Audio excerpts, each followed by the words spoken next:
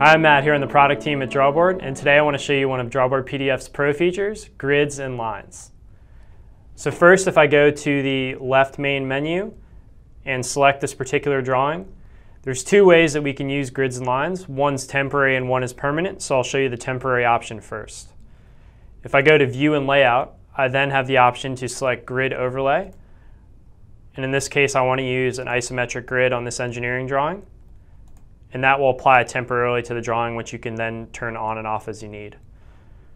For the second way, the more permanent option, I will then go to Open a New Document and I'll select a letter size document because I want to take some notes.